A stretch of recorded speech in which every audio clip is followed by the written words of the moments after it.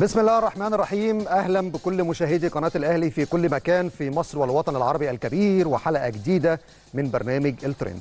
حلقة النهارده بالتأكيد فيها تفاصيل جديدة وفيها أخبار ومستجدات على الساحة الرياضية. وقدر الإمكان كل يوم بنكون معاكم على الهواء مباشرة من خلال برنامج الترند. بنحاول قدر الإمكان نعرف لكم كل المستجدات والجديد في الموسم المقبل اللي خلاص بإذن الله على مشارف البداية. خاصة مع انطلاق تدريبات النادي الأهلي يوم الخميس المقبل.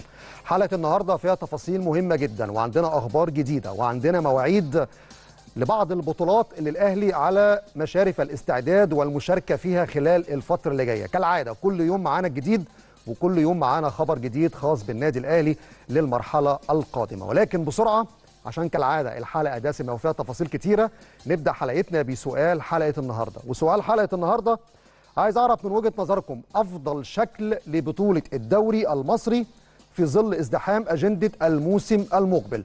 بدأنا يوم السبت باقتراحاتكم لتطوير منظومة الكرة المصرية. امبارح اتكلمنا عن تطوير منظومة التحكيم. النهارده وجهة نظركم الدوري السنة الجاية يتلعب إزاي؟ هل دوري من دورين كما هو المعتاد؟ دوري من دور واحد دوري مجموعتين. كل واحد يدخل ويشارك ونسمع ونقرأ ونشوف وجهة نظركم. عشان نستعرض كل ده في الفقرة الأخيرة من برنامج الترند. جمهور الأهلي جزء لا يتجزأ من المنظومة وبالتالي مهم جدا نسمع ونقرأ آرائكم بشكل يومي من خلال صفحاتنا على السوشيال ميديا سواء صفحة القناة على الفيسبوك أو تويتر أو حتى إنستجرام. لكن بسرعة نروح لأهم العناوين. في ترند الأهلي كولر يعود للقاهرة غدا. وفي الترند المحلي استبعاد تريزيجيه من قائمة المنتخب. وفي الترند العالمي ليفربول يرفض رحيل محمد صلاح. أخيرا يعني تم حسم الأمر واستمرار محمد صلاح في صفوف ليفربول خلال الموسم الجاري. صلاح عنده تحديات الموسم ده مع فريق ليفربول فبالتالي مش من مصلحته أو هو شايف إن الأفضل الاستمرار في ال Premier League في الدوري الإنجليزي خلال الفترة اللي جاية. نتمنى التوفيق لصلاح وألف مليون سلام على تريزيجيه. للأسف لن يكون في قائمة منتخبنا خلال أجندة شهر تسعة. طيب جولة مباريات اليوم. النهارده استكمال لباقي مباريات الدوريات الأوروبية والبداية من الدوري الإنجليزي. الساعة العاشرة من مساء اليوم كريستال بالاس بيستضيف أرسنال. الدوري الأسباني الساعة 8 من مساء اليوم ديبورتيفو ألفيس بيستضيف إشبيلية. والساعة 10 ونص غرناطة بيستضيف رايو فاليكانو. الدوري الإيطالي الساعة 7 ونص ترينو بيستضيف كالياري والساعة العاشرة إلا ربع بولونيا بيستضيف الميلان. نتمنى يا رب مشاهدة ممتعة في الدوريات اليوم سواء الدوري الإنجليزي الأسباني أو حتى الدوري الإيطالي. فاصل ثم نواصل. طيب على بركة الله الأهلي بإذن الله هيبدأ مشواره في الموسم الحالي. أولى التدريبات هتكون يوم الأربعاء المقبل في مقر النادي الأهلي بالجزيرة. اجتماع للجهاز الفني بقيادة مارسيل كولر اللي هيصل إن شاء الله مساء الثلاث وأنا على مدار ال 48 ساعة قدر الإمكان حاولت اقربكم شوية من التفاصيل اللي هتحصل خلال الفترة اللي جاية. إمتى يصل كولر؟ إمتى يعمل اجتماع أو يعقد اجتماع مع الجهاز المعاون والجهاز الطبي الجديد اللي هيكون موجود مع النادي الأهلي خلال الفترة المقبلة؟ إمتى هيكون أول تدريب للفريق؟ التدريبات هتكون صباحية ومسائية قبل السفر إلى النمسا زي النهارده. الاثنين اللي جاي سفر الفريق إلى النمسا عشان يستعد في معسكر إعداد قوي جدا يتخلله مباراتين وديتين يوم 2 و5 من الشهر المقبل. كمان النهارده عندنا إضافة ومعلومة جديدة. هناك اتجاه لتصعيد من 6 إلى 8 لاعبين من قطاع الناشئين عشان يكونوا موجودين في أول تدريب للفريق الأول خلال الفترة اللي جاية. وقد يبدأ تدريب مجموعة اللاعبين الصاعدين من قطاع الناشئين غدا الثلاثاء قبل موعد تجمع الفريق ب 24 ساعة. كولر مش سايب حاجة للصدفة. محدد برنامجه من أول ما يوصل مطار القاهرة يوم الثلاث لغاية ما يخوض أول مباراة رسمية يوم 15 أو 16 أو 17 9 في دوري أبطال إفريقيا. فبالتالي محدد اللعيبة اللي هيتم تصعيدها من قطاع الناشئين. طبعا كلكم عارفين أبرز اللاعبين كريم الدبيس كريستو اللاعب التونسي مواليد 2003 زعلوك يعني عدد كبير جدا من لاعبي قطاع الناشئين بيتراوح العدد اللي طلبه كولر من 6 إلى 8 لعيبة هيكونوا موجودين بكرة في ملعب مختار التتش بالجزيرة هيعملوا القياسات البدنية والعضلية ويستعدوا لأول مران بإذن الله. كولر عنده اجتماع يوم الاربعاء ويوم الاربعاء ده هيبقى يوم حافل بتفاصيل كتيرة جدا. يعني انتظرونا بإذن الله يوم الاربعاء عندنا أخبار كتيرة. وعندنا موضوعات مهمة وقد يكون هناك إعلان عن تفاصيل مهمة جدا يوم الأربعاء مع بداية فترة الإعداد الخاصة بالفريق الأول خلال الفترة اللي جاية. فديك آخر المستجدات المتعلقة بتدريبات الفريق الأول والحمد لله على مدار اليومين اللي فاتوا كنا قدر الإمكان بنحاول نقربكم شوية من التفاصيل ولكن اطمئنوا مفيش أي قلق كل التحضيرات بتسير بشكل جيد جدا. معسكر الأهلي في النمسا بيلقى اهتمام ورعاية وأولوية من الكابتن محمود الخطيب بصفة شخصية. مهتم جدا بأدق التفاصيل واتصالات مباشرة ومتابعة دقيقة جدا مع الكابتن خالد بيبو ومع الكابتن سمير عدلي. وما ننساش كولر كان مدير فني المنتخب النمسا. فلما تعمل معسكر إعداد في النمسا أكيد كولر عنده كل التفاصيل وعارف أفضل الأماكن وعارف أفضل المباريات الودية. والأماكن اللي ممكن تعمل فيها معسكر إعداد يخليك واقف على رجليك طول الموسم. فاطمئنوا إن شاء الله هيكون معسكر إعداد جيد جدا وهيكون في تحضير جيد جدا إن شاء الله للموسم اللي جاي لأن خلاص بدأت يعني الملامح تظهر. النهارده عندنا ملامح من إحدى بطولات الأهلي اللي هيشارك فيها الموسم اللي جاي. هنتكلم عليها بالتفصيل وعندنا النهارده انفرادات مهمة جدا عن إحدى البطولات اللي الأهلي هيلعب فيها خلال هذا العام وتحديدا كأس العالم للأندية. ولكن دي كانت جزئية مهمة جدا عايز أبدأ النهارده فيها فقرة ترند الترند بخصوص تدريبات الأهلي. الموضوع الثاني وللأسف أنا هقول للأسف لأن في البعض أو شخص بيحاول يدخل الاهلي طرف في مشاكل ليس للاهلي طرف بها. الاهلي مؤسسة كبيرة تدار بطريقة احترافية ومنظمة لا دخل لها بمشاكل أي نادي. أي نادي عنده مشاكل تانية يحلها أو يشوف حلها أو يشوف تفاصيلها بس ما حدش يحط الاهلي طرف فيها. يعني امبارح خرج أحد الأشخاص ممن يدعي إن هو منتمي لنادي رغم إن هو أول من كتب سطر الهروب والخروج من النادي المنتمي إليه. ودخل الاهلي طرف في موضوع الاهلي أساسا ليس طرف فيه. واتكلم بكل صراحة أنا هتكلم معاكم بكل صراحة يعني. طلع قال لك إيه؟ آه عندنا مشكلة مثلا في تجديد عقد لاعب. يا ريت من ينتمي للأهلي ما يتدخلش في الموضوع و... ويسيبوا النادي لأن النادي عنده مشاكل وما تستغلوش المشاكل اللي عندنا. هو حد في النادي الأهلي فضيلك أساسا؟ يعني النادي الأهلي الفترة الجاية بيستعد للموسم الجديد. عنده ال Super League عنده كأس عالم أندية بيحضر للقائمه هيعلن عن تفاصيل مهمة جدا خلال نهاية هذا الأسبوع. وأنت دايما عايز تحط الأهلي طرف عشان تبان ان أنت في سياق الدفاع عن مصالح ناديك. اللي انت أساسا أول واحد كتبت سطر الهروب من ناديه. أول واحد كتب سطر الهروب من ناديه. دلوقتي بيقود لواء الدفاع عن النادي. اعمل اللي انت عايزه. دافع عن ناديك زي ما انت عايز. ولكن ما تدخلش الأهلي طرف. ما تدخلش الأهلي طرف. عندك مشكلة في تجديد عقد لاعب دي مشكلتك انت. ما تدخلش الأهلي طرف. الأهلي عارف إمتى يتكلم مع لعيب وعارف إمتى يشوف مصلحته وعارف إيه هي احتياجاته. هتدخل الأهلي طرف عشان تبين اللي انت بتدافع عن النادي اللي انت بتنتمي إليه على الورق دي مشكلتك انت. بس ما تدخلش الأهلي طرف. والفترة اللي جاية مش هنسمح لحد وهو بيتكلم عن مشكلة ناديه إنه يحط الأهلي طرف. كل واحد يا جماعة يخليه في ناديه كل واحد يخليه في شغله. والإعلامي يخليه إعلامي. عايز تشتغل وتدافع عن النادي وتقوم بدور ليه علاقة إدارية ليه علاقة فنية؟ ما تخش ما تخشش في الإعلام وتقوم بدور إعلامي. يعني أنا أتمنى نوصل لمرحلة يكون في فصل. اللي بيشتغل في الإعلام يشتغل في الإعلام وبس. اللي يشتغل في نادي يشتغل في نادي بس. ملوش علاقة بالإعلام. لكن قصة اللي أنت النهارده بتتكلم عن النادي اللي أنت منتمي إليه.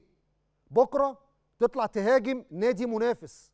بعده تطلع تتكلم عن مشاكل داخلية في النادي اللي انت منتمي إليه وتحاول تبين إن النادي ده مظلوم والناس لازم كلها تقف جنبه.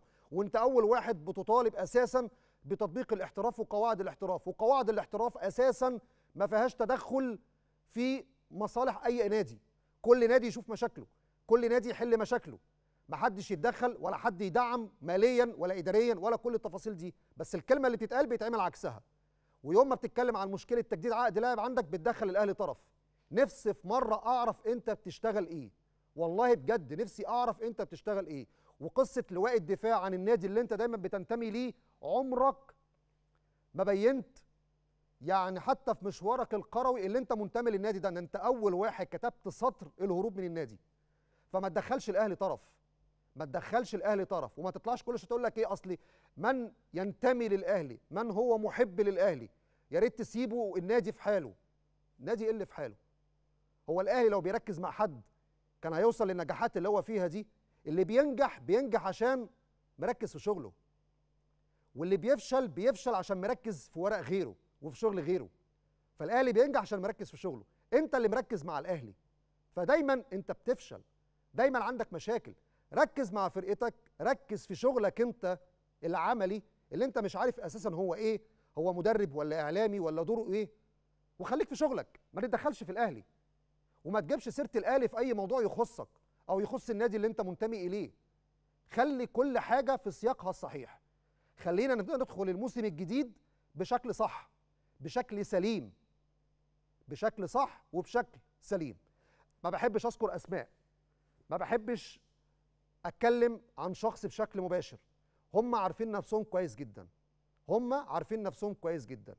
المرة دي إحنا بنوجه تحذير. أي حد عنده مشاكل في ناديه ما يدخلش الأهلي طرف. ما يدخلش الأهلي طرف. شوف الأهلي بينجح إزاي؟ وذاكر وانجح زيه. مش هقول لك اعمل فترة معايشة. لا ذاكر وانجح زيه. لأن الأهلي لو بيفكر فيك عمره ما هيوصل لل... للنتيجة اللي إحنا شايفينها دلوقتي. طيب النتيجة اللي إحنا شايفينها دلوقتي وأول خطوات الموسم الجديد.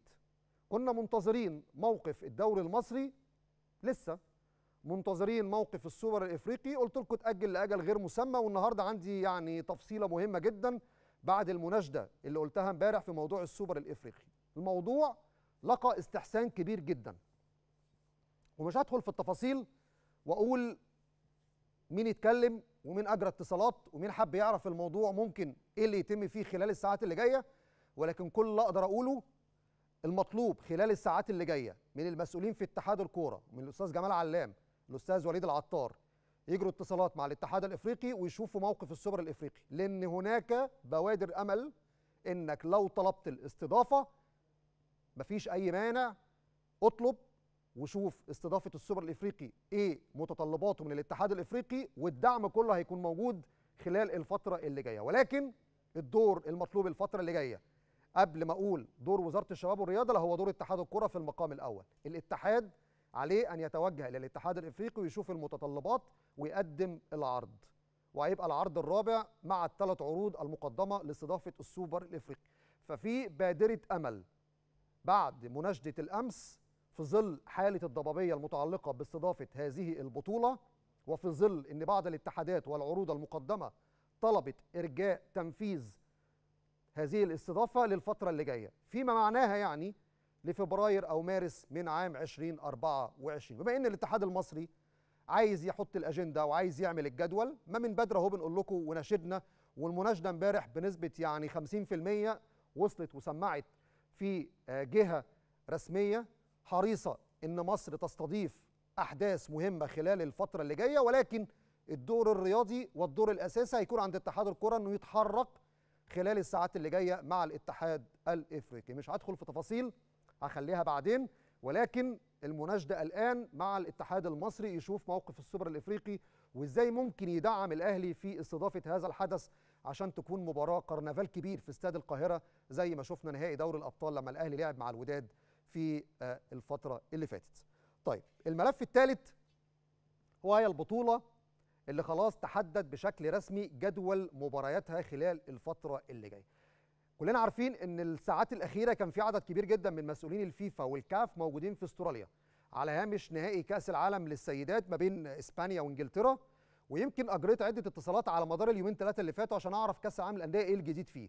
كلنا عارفين إن من حوالي يومين ثلاثة تم الإعلان رسميا إن القرعة يوم 7 9 قرعة كأس العالم للأندية يوم 7 9 في المملكة العربية السعودية. طيب جدول المباريات البطولة من 12 ل 22 الأهلي هيبدأ إمتى؟ خدوا بقى المواعيد الرسمية ودي معلومة رسمية ليس اجتهاد ولا وجهة نظر. القرعة زي ما قلت يوم 7 9 في جدة ده بشكل رسمي. طيب انطلاقة البطولة لقاء الافتتاح يوم 12 ديسمبر 12 12 ما بين اتحاد جدة السعودي وأوكلاند سيتي النيوزيلندي. مباراة الافتتاح يوم 12 12 ما بين اتحاد جدة السعودي وأوكلاند سيتي النيوزيلندي. في مباراتين هيتلعبوا يوم 15 12 الأهلي سيكون طرف هذه المباراة أو طرف هذين المباراتين. يوم 15 ديسمبر الأهلي سيفتتح مشواره في كأس العالم للأندية. في مدينة جدة بالمملكة العربية السعودية يوم 15 ديسمبر. هيواجه مين؟ قرعة يوم 7 9 هتحدد المباراتين. الفايز ما بين اتحاد جدة وأوكلاند سيتي هيلاعب. يا الأهلي يا أوراوا ريد دياموندز بطل آسيا الفريق الياباني يا ليون المكسيكي. تاني الثلاث فرق اللي هيستنوا الفايز من اتحاد جدة وأوكلاند سيتي. الثلاث فرق دول هم الأهلي وأوراوا ريد دياموندز الياباني بطل آسيا وليون المكسيكي بطل الكونكاكاف. دول الثلاث فرق اللي هيستنوا الفايز ما بين اتحاد جدة السعودي وأوكلاند سيتي النيوزيلندي. ناس نفترض يعني نتمنى يا رب بإذن الله اتحاد جدة يكسب بطل السعودية يكون موجود في الدور الثاني يوم 15 ديسمبر. هيكون دول الأربع فرق. قرعه يوم 7 9 هتحدد الاهلي هيواجه مين؟ هل هيواجه اتحاد جدة؟ هل هيواجه ليون المكسيكي بطل الكونكاكاف؟ هل هيواجه بطل اليابان؟ أوراوا ريد دياموندز بطل اليابان اللي هو بطل آسيا يوم 15 ديسمبر. قرعة كأس العالم اللي في المغرب اتعملت بشكل مختلف عن القرعة اللي جاية. ليه؟ لأن كان ساعتها المغرب المستضيفة هي بطل إفريقيا. الوداد كان بطل إفريقيا. ولعب مباراة الافتتاح مع الهلال السعودي. فما كانش ينفع إن القرعة تقول الوداد لو كسب مثلا يعني كان ممكن يلاعب الأهلي فكانوا عايزين يبعدوا الأهلي عن الوداد. فاتعملت قرعة موجهة في الدور التمهيدي الثاني المرة دي مفيش قرعة موجهة. اتحاد جدة أوكلاند سيتي الفايز منهم. يا إما يلاعب بطل إفريقيا يا إما يلاعب بطل آسيا يا إما يلاعب بطل الكونكاكاف زي اللي حصل في البطولات اللي فاتت ما عدا بطولة المغرب. يبقى الأهلي عنده أول مباراة رسمية إمتى؟ يوم 15 12 يا إما يلاعب بطل اليابان يا إما يلاعب ليون المكسيكي يا إما ينتظر الفائز ما بين اتحاد جدة وأوكلاند سيتي. طيب مرحلة الدور نصف النهائي إمتى؟ هتتلعب على يومين يوم 18 12 ويوم 19 12 يوم 18 12 ويوم 19 12 إن شاء الله بإذن الله الأهلي يتخطى الدور التمهيدي الثاني ويتأهل للدور نصف النهائي. إما يلعب يوم 18 12 مع بطل أمريكا الجنوبية اللي هو بطل الكونمون بول اللي لسه ما تحددش. ده هيتحدد يوم 4 نوفمبر. مباراة الدور نصف النهائي الأول هتتلعب يوم 18 12 مع بطل أمريكا الجنوبية اللي هو لسه ما تحددش. بطل أمريكا الجنوبية هيتعرف بشكل رسمي يوم 4 نوفمبر. والقرعه هتتعمل يوم 7 9 بطل أمريكا الجنوبية متحدد مكانه إنه هيلعب مباراة الدور نصف النهائي يوم 18 ديسمبر. طيب ممكن القرعه توجه الاهلي وتخليه يلعب يوم 19 12 في حال تخطي الدور التمهيدي الثاني بس ساعتها هيلعب 19 12 مع مين؟ مع المان سيتي مع مانشستر سيتي الإنجليزي مع البوب جوارديولا يوم 19 ديسمبر. اذا أول مباراة رسمية لبطل أوروبا في كأس العالم للأندية هتكون يوم 19 ديسمبر في جدة. والأهلي في قرعة 7 9 هيعرف مين اللي هيواجهه في الدور التمهيدي الثاني كسب يا يلعب 18 12 مع بطل أمريكا الجنوبية يا يلعب 19 12 مع مانشستر سيتي. طيب ده مرحلة الدور نصف النهائي. المباراة النهائية ومباراة الثالث والرابع في اليوم الختامي يوم 22 ديسمبر. تحديد المركز الثالث يوم 22 ديسمبر. المباراة النهائية في نفس اليوم في المساء يوم 22 ديسمبر. إذا ده جدول مباريات كأس العالم للأندية. 12 12 لقاء الافتتاح أول مباراة للأهلي يوم 15 12 كسب حسب القرعة. يا يلعب 18 مع بطل أمريكا الجنوبية يا يلعب 19 12 مع مانشستر سيتي. الثالث والرابع يوم 22 والمباراة النهائية يوم 22 12 طب قائمة الفريق. الفيفا حدد يوم 30 أكتوبر آخر ميعاد لإرسال القائمة المبدئية. 30 أكتوبر آخر ميعاد لإرسال القائمة المبدئية. كام لاعب؟ 35 لاعب. 35 لاعب دي القائمه المبدئية لكأس العالم للأندية تبعتها بحد أقصى يوم 30 10 تختصر القائمه دي ل 23 لاعب إمتى؟ يوم 4 12 قبل انطلاق البطولة بحوالي أسبوع 10 أيام يختصر أو تختصر قائمة الفريق من 35 ل 23 لاعب. دي القائمة النهائية اللي هيتم اعتمادها من الفيفا عشان تشارك في كأس العالم للأندية. دي أول بطولة الحمد لله قدرنا نوصل لتفاصيلها من خلال اجتماعات كانت موجودة لوفد الفيفا والكاف على هامش كأس العالم في أستراليا. وتأكدت رسميا خلاص إن المواعيد دي تم إرسالها للاتحاد السعودي يعني من حوالي 48 ساعة عشان يتم التحضير للقرعة يوم 7 9 القرعة يوم 7 9 الساعة 9 مساء بتوقيت القاهرة. يوم 7 9 الساعة 9 مساء بتوقيت القاهرة في إحدى الفنادق في مدينة جدة. والأهلي بالتأكيد هيلعب كل مبارياته والبطولة كلها هتتلعب في جدة خلال نهاية هذا العام. اذا دي أول بطولة. رسالة هيقول الحاج عامر حسين جبنا لك مواعيد أول بطولة. كأس العالم للأندية. وتاني بطولة السوبر ليج في الفترة من 20 أكتوبر ل 11 نوفمبر. بكرة بكرة بإذن الله هجيب لكم مواعيد مباريات السوبر ليج. الدور الأول والدور الثاني ومواعيد المباراة النهائية. الذهاب والإياب. إمتى المواعيد؟ بشكل رسمي لأن النهارده إن شاء الله هتجيلي المواعيد الرسمية لمباريات السوبر ليج خلال الفترة اللي جاية. دي كانت أبرز الأخبار والمعلومات اللي معانا النهارده. في فقره trend ال trend. نخرج إلى فاصل وبعد الفاصل نواصل. ال social media فيها تفاصيل كتيرة جدا عن أخبار مهمة تتعلق بالاستعدادات والتحضيرات للموسم الجديد. نطلع نتابع آخر أخبار الترند. أهلا بحضراتكم من جديد وآخر أخبار الترند والبداية من ترند الأهلي. ترند الأهلي في البداية صورة محمد هاني. يعني بيعمل عمرة حاليا في المملكة العربية السعودية وكتب في على الصورة في الإنستجرام الحمد لله. يعني نتمنى يا رب بإذن الله تكون عمرة مقبولة. وبصراحة يعني أفضل استعداد للموسم الجديد وتفصل خالص عن كل الدنيا بشكل عام إنك تكون موجود في المملكة العربية السعودية في الأراضي المقدسة وتأدي مناسك العمرة خلال الفترة الحالية قبل ما تستعد للموسم الجديد. نتمنى التوفيق يا رب لمحمد هاني عمل موسم متميز جدا خلال الفترة الأخيرة. وإن شاء الله تكون بداية موفقة والبداية الموفقة أكيد هتكون من المملكة العربية السعودية اللي هيرجع لها تاني وهيشارك في كأس العالم للأندية خلال شهر ديسمبر المقبل. فالبداية صورة محمد هاني في العمرة خلال الفترة الحالية. طيب نروح كمان ونشوف إيه اللي معانا في ترند الأهلي المصري الرياضي. الأهلي يتفق مع كولر على بنود عقده الجديد. تعرف على التفاصيل. كل الكلام اللي موجود حاليا في ال social media الناس بتتكلم على إن كولر في اتفاق معاه على التجديد لموسمين إضافيين بخلاف الموسم المقبل.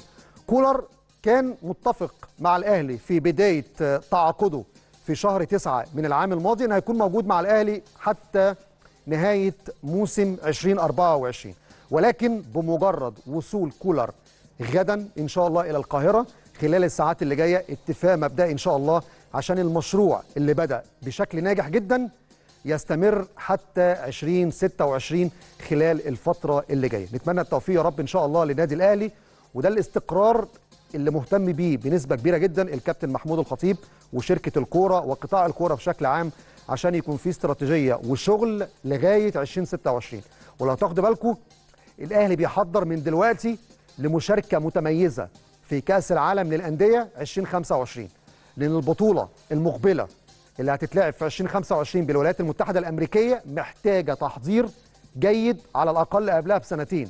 عندك كأس عالم أندية آه السنة دي بسبع أندية كما هو النظام المتبع بنفس الجوائز بنفس النظام واتكلمنا حتى على جودة المباريات من شوية. ولكن كأس العالم 2025 في الولايات المتحدة الأمريكية محتاج تحضير كبير.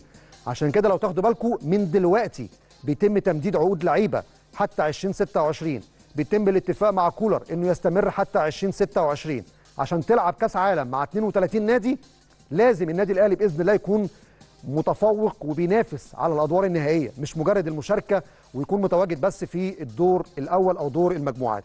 فخلال الساعات اللي جاية هيكون في تفاصيل كتيرة النادي الأهلي هيعلن عن كل التفاصيل دي في حينها إن شاء الله. طيب الوطن سبورت بيتكلموا على موعد وصول كولر للقاهرة وأول خطوة بعد حضوره.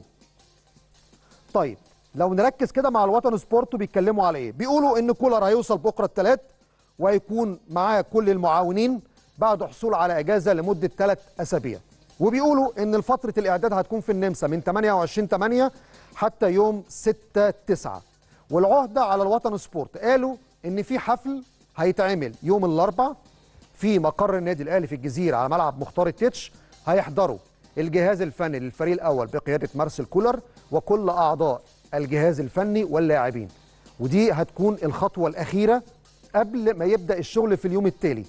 يوم الأربع القياسات والتدريبات عشان تستعد لبداية موسم جديد. فالوطن سبورت بيتكلموا على موعد وصول كولر وأول خطوة هتبقى لكولر بعد حضوره هو حضور الحفلة حسب ما كتب الوطن سبورت النهارده عبر ال website ومن خلال صفحته الرسمية على الفيسبوك.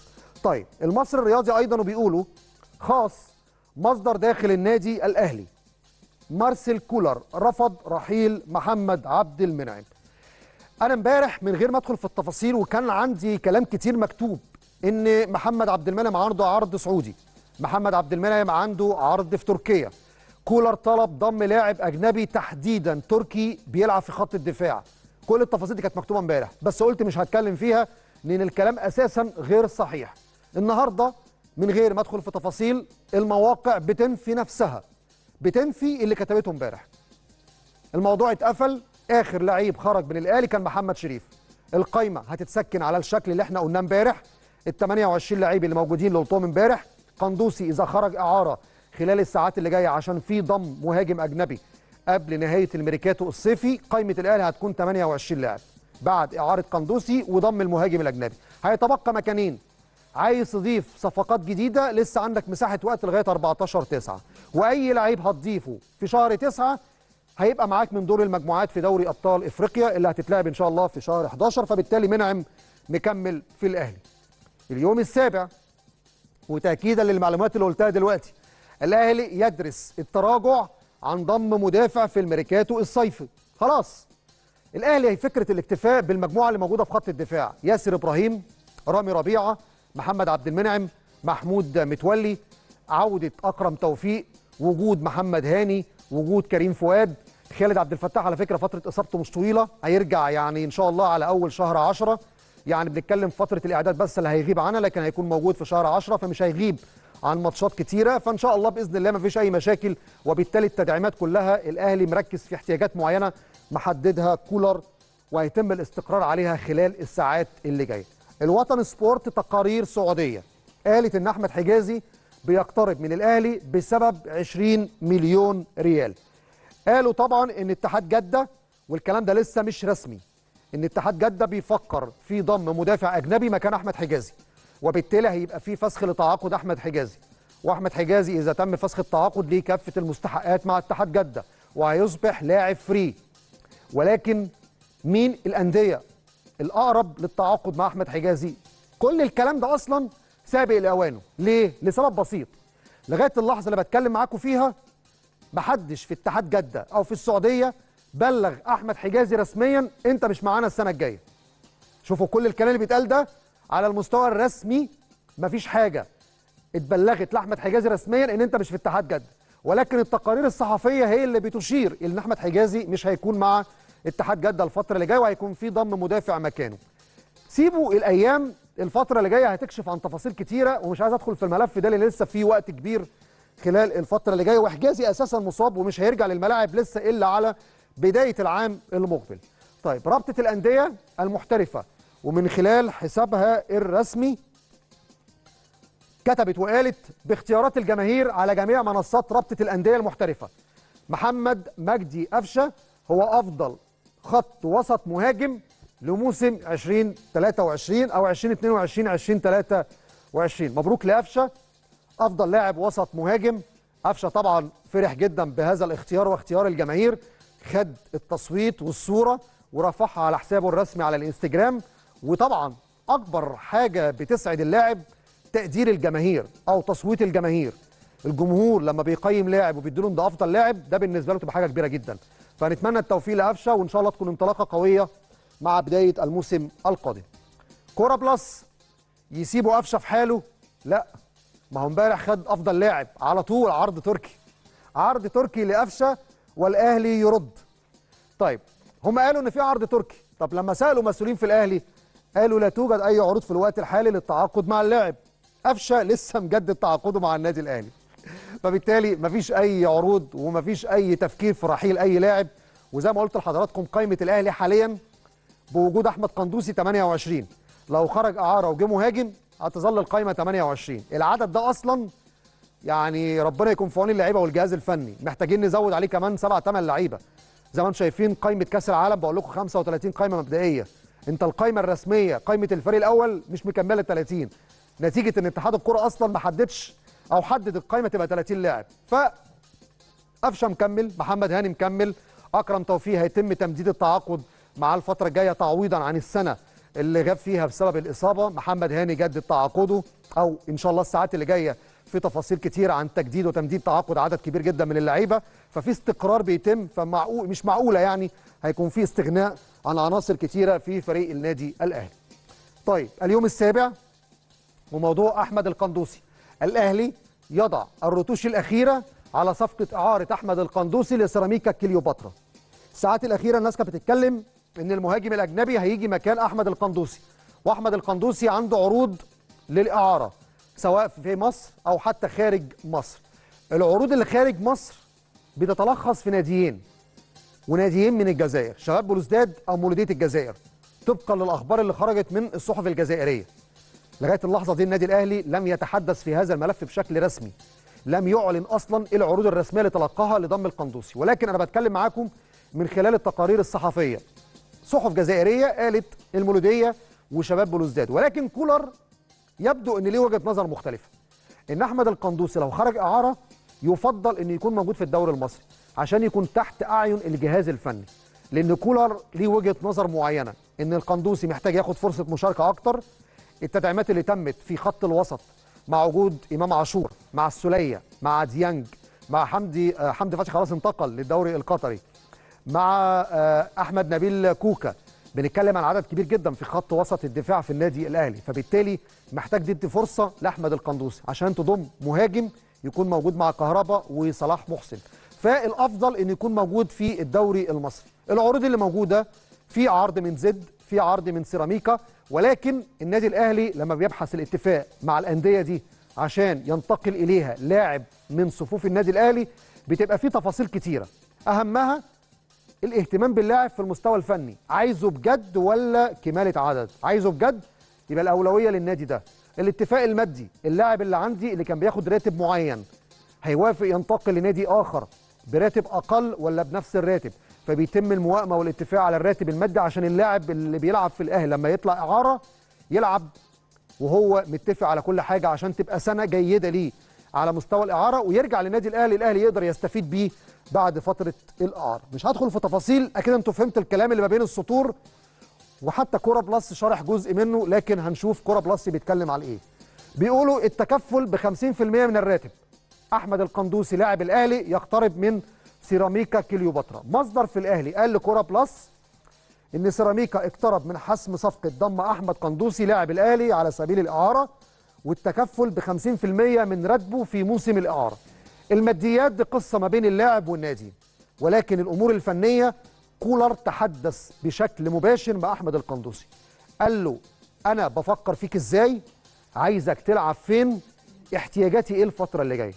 اللاعب مهم جدا يقتنع عشان لما يتمم إجراءات الإعارة والتعاقد يلعب سنة يظهر فيها بشكل جيد يستفيد ويستفيد منه الأهلي لما يرجع للموسم اللي بعده. وكل ده طبعا بسبب فكرة تحديد عدد الأجانب اللي موجودين في الدوري المصري. طيب حساب يلا كورة مصدر بالأهلي يلا كورة. نفاوض سيراميكا على نسبتنا في راتب قندوسي وخزينتنا لن تتحمل أي مبلغ. وده متعلق بالجزء اللي كنت بكلمكم عليه على فكرة الجوانب المالية. ولكن حتى الآن مفيش جوانب مالية واضحة أو رسمية نقدر نتكلم عليها. كل اللي يهمنا إن الأهلي لما يجيب مهاجم أجنبي يتمم الصفقة. خلال الساعات اللي جاية أحمد قندوسي لو هو اللي عليه الاختيار انه يطلع إعارة يلعب في نادي يبقى عايز قندوسي عشان يشارك معاه بشكل أساسي. ما يروحش نادي ما يلعبش معاه خالص. يبقى لا النادي استفاد ولا اللاعب استفاد. نتمنى إن قندوسي السنة الجاية إن شاء الله يكون اختار النادي المناسب عشان يلعب معاه الفترة اللي جاية. طيب اليوم السابع رصد في الميركاتو الصيفي. إيه أغلى الصفقات اللي تمت خلال هذا الموسم؟ بيقولوا إن إمام عاشور بيتصدر قائمة أغلى سبع صفقات في الميركاتو الصيفي. أغلى سبع صفقات في الميركاتو بلغت 3 مليون دولار ما يعادل 92 مليون و460 ألف جنيه. أندية الأهلي بيراميدز المصري هي أكتر الانديه اللي صرفت مبالغ مالية لضم صفقات قوية. الأهلي طبقا للأرقام اللي كتبها اليوم السابع وليست أرقام رسمية. إمام عاشور 92 مليون 460 ألف جنيه. رضا سليم 64 مليون 720 ألف جنيه. أنا شايف الأرقام دي مبالغ فيها جدا. بيراميدز ثلاثي فيوتشر انتقل من فيوتشر لبيراميدز مقابل 120 مليون. بوبو 50 مهند لاشين 35 مليون محمود مرعي 35 مليون. مصطفى فتحي 30 مليون و820 ألف مع تفعيل بند الشراء. ثم المصري بانضمام باهر المحمدي 20 مليون جنيه شرط جزائي ملايين كثيره قوي. نتمنى يا رب بإذن الله تكون فيها فايدة للأندية خلال الموسم اللي جاي. بس لو بنقارن الأرقام دي بأرقام الميركاتو في المملكة العربية السعودية. لا فرق كبير جدا. وشتان الفارق ما بين الأرقام الميركاتو الصيفي في الدوري المصري مع الدوري السعودي. طيب كوره بلس بيتكلموا على صفقة الميركاتو الصيفي المتعلقة بخط هجوم الأهلي. سوزا حقيقة عودة سوزا لحسابات الأهلي وموقف مارسيل كولر. كوره بلس النهارده نشر التفاصيل اتكلم على موضوع سوزا. وقالوا حسب مصادرهم وليست معلومات رسمية. بيقولوا إن الأهلي أتمم أو تمم إجراءات التعاقد مع سوزا ووقع عقود مبدئية مع نادي جيمبوك الكوري الجنوبي وكانت الأمور قريبة جدا من الانتهاء في الفترة الماضية ولكن تعثرت بسبب رفض مدرب الفريق الكوري. على الرغم من ذلك ظل النادي الأهلي مهتم جدا بالتعاقد مع سوزا طبقا لاحتياجات الجهاز الفني ورغبة مارسيل كولر وبالتالي مع تمسك الأهلي وتمسك اللاعب تغير موقف مدرب الفريق الكوري وبالتالي ابتدى الأهلي يقرب شوية من ضم اللاعب. في التوقيت اللي كان المدرب الكوري أو مدرب الفريق الكوري يعني رافض انتقال اللاعب الأهلي كان بيبحث عن بدايل أخرى. ولكن كولر كانت وجهته أو اختياره الأول والأخير ديفيد سوزا. هنشوف خلال الساعات اللي جاية مع كثرة الحديث في ال social mes... ال social media على موضوع انتقال اللاعب. هل جوستافو سوزا ممكن ينتقل للأهلي ولا لا؟ عموما ال social media بتتكلم كتير وأنا قلت لحضراتكم قبل كده لسه في مساحة وقت ولسه في مساحة من التعاقد مع مهاجم أجنبي خلال الفترة اللي جاية الميركاتو الصيفي المحلي 15 9 الميركاتو الصيفي اللي الخاص بالاتحاد الإفريقي لسه لغاية 31 8 ولو جبت لاعب في شهر 9 يقدر يلعب دور المجموعات. فلسه في متسع من الوقت خلال الفترة اللي جاية. عموما هنشوف ماذا سيسفر هذا الملف خلال الساعات اللي جاية. طيب نروح للترند المحلي. وكوره بلس بيأكد من خلال تصريح لمدير منتخب مصر محمد غرابة. تريزيجيه خارج معسكر منتخب مصر لمواجهتي إثيوبيا وتونس. إصابة تريزيجيه بكسر في الضلع لن تسمح ليه للمشاركة مع منتخبنا في أجندة شهر تسعة. الكسر اللي تعرض له في الضلع مش هيدي مساحة إن يرجع بسرعة. ويكون تريزيجيه موجود مع منتخبنا في الأجندة اللي جاية. ألف مليون سلام عليك يا تريزيجيه. للأسف بيغيب فترات طويلة جدا وكورة بلس النهارده ألقى الضوء على مدة غياب محمود حسن تريزيجيه وقالوا غيابه هيكون لمدة شهرين خلال الفترة اللي جاية بعدما تعرض لكسر في الضلع بالجانب الأيسر من الصدر. ألف مليون سلامة على تريزيجيه خلال الفترة اللي جاية. طيب نروح بقى للترند العالمي. والترند العالمي بيتكلموا على محمد صلاح. كرة بلس بيقول محمد صلاح منفتح للانتقال إلى الاتحاد ولكن طيب ولكن إيه بقى؟ ولا يزال النادي السعودي يحاول ضمه هذا الصيف رغم رفض المدرب يورجن كلوب لعدم توافر البديل المناسب في فريق ليفربول. وأنا بأكد لكم خلاص بنسبة كبيرة جدا محمد صلاح مكمل مع ليفربول رغم إن في تقارير بتقول إن صلاح منفتح للانتقال للاتحاد. ولكن صلاح عايز يحقق أرقام قياسية كبيرة جدا خلال هذا الموسم في الدوري الإنجليزي في ظل انتقال لعيبة مهمة للدوري السعودي فالملعب مفتوح ليه. طبعا مش هيلعب دوري الأبطال ولكن عايز يعمل حاجة في الدوري الإنجليزي السنة دي. طيب حساب بطولات بيقولوا محمد جدة السابق. الكلام ده على عهدة محمد نور. قال محمد صلاح اتحادي بإذن الله بنسبة 75% سوف ينضم صلاح إلى اتحاد جدة. ده كلام محمد نور ولكن أشك لأن التصريحات في المملكة العربية السعودية دايما بتبقى تصريحات رنانة مش قريبة من الحقيقة بنسبة كبيرة يعني.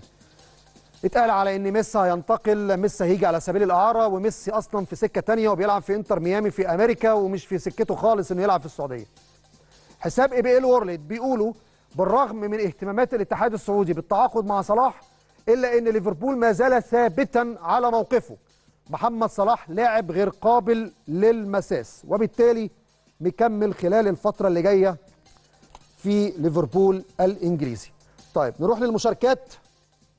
والسؤال اللي طرحناه في بداية الحلقة بخصوص الدوري اقتراحاتكم للدوري أستاذ ياسر بيقول أنا هشوف دوري من دور واحد ثم دوري من دورين لتحديد البطل للفرق التسعة الأوائل ودوري من دورين لتحديد الهابطين للفرق التسع من المركز العاشر لل 18 كده نكون وفرنا على الأقل سبع مباريات لكل فريق حتى يتسنى بداية الموسم منتظم في شهر أغسطس مثل باقي الدوريات. تحياتي ليك وللبرنامج المحترم. شكرا ليك يا أستاذ ياسر. أستاذ رمضان بيقول أفضل شكل للبطولة هذا الموسم دوري من دور واحد. الرباعي الأول يلعبوا مع بعض لتحديد البطل وباقي مراكز التأهل للبطولات الإفريقية. الرباعي الأخير يلعب على بطاقة بقاء واحدة والبقية هبوط للقسم الأدنى. ونحقق من نتائج لأي فريق سواء في المقدمة وفي آخر الجدول يخضع للدورة المجمعة. الناس كلها رايحة لدوري من دور واحد. أستاذ عبد الله رضوان بيقول مساء الخير يا أستاذ محمد. لازم يكون في موسم استثنائي ولازم الكل يضحي مش طرف واحد بس. إذا لم يحدث هذا سنظل في هذا الموال كل موسم. لكن النصيحة الأكبر أن الدوري يعود ل 14 فريق مثل السابق. كان هناك فترات راحة فترات إعداد ما بين المواسم. كانت الأندية تلعب ماتشات ودية مع أندية خارجية. محدش قادر ياخد القرار. أستاذ محمد خليفة بيقول دوري من دور واحد برضو. يصعد أول تسعة يلعبوا دوري من دور واحد التسعة الثانية يلعبوا دوري من دور واحد عشان يهبط خمسة بحيث الدوري اللي بعديه الأندية تقل ل 16 كل فريق هيلعب 25 مباراة في الموسم الموسم الجديد يبقى 16 نادي يبدأ في أغسطس ينتهي في مايو. غير كده بنضرب الكرة المصرية في مقتل. الناس عارفة الحلول بس للأسف محدش قادر ياخد القرار. مستر هشام بيقول أفضل حل دوري من دور واحد وبعدين ناخد أول ستة نعمل بيهم دوري من دورين نحدد بيهم بطل الدوري وآخر ستة نفس الكلام لتحديد الثلاث فرق الهابطين لدوري المحترفين. يعني الكل بيتكلم دوري من دور واحد بس هل نلعب بأربعة ولا بستة ولا بتسعة؟ بتختلف الآراء. أستاذ عبد الخالق بيقول يتلعب زي ما هو ونلغي كاس مصر والرابطة السنة دي. يعني أستاذ عبد الخالق نلعب دوري ونلغي كل البطولات. وجهة نظر أستاذة أستاذ صافي بيقول المفروض البطولة دي تتلعب من دور واحد أو يتعمل مجموعتين الأول والثاني من كل مجموعة يقابل أو يتقابلوا على النهائي وده أفضل الحلول. غير كده البطولة مش هتكمل وده ممكن يحصل عشان أندية أخرى ممكن تهبط. يعني كل الناس مش عايزة دوري يتلعب من دورين. دوري من دور واحد تصفية لتحديد البطل تصفية لتحديد الفريق اللي هيهبط. عموما هنشوف إيه اللي هيحصل خلال الفترة اللي جاية. قبل الختام محتاجين نطلع بخبر مهم جدا وصورة من معسكر الأهلي في النمسا. طيب كابتن سمير عدلي والكابتن خالد بيبو زي ما قلت لحضراتكم امبارح راجعين أو رجعوا النهارده خلاص والصورة دي في مطار القاهرة بعد الوصول بعد الترتيب لكل إجراءات معسكر الأهلي في النمسا. وصلوا بسلامة الله وزي ما قلت لحضراتكم امبارح كل إجراءات المعسكر خلاص تم الاتفاق عليها وكان المفروض يرجعوا امبارح خلاص رجعوا النهارده ودي صورة من مطار القاهرة بعد وصولهم. وإن شاء الله يوم الخميس أول التدريبات في مختار التتش. تدريب صباحي ومسائي. خميس جمعة سبت حد. الاثنين اللي جاي زي النهارده السفر للنمسا لخوض معسكر الإعداد. في الختام بشكر حضراتكم على حسن المتابعة والمشاهدة. حلقة كانت دسمة فيها أخبار كتيرة فيها انفرادات مهمة لكن غدا لقاء جديد وانفرادات جديدة في برنامج الترند. شكرا وإلى اللقاء.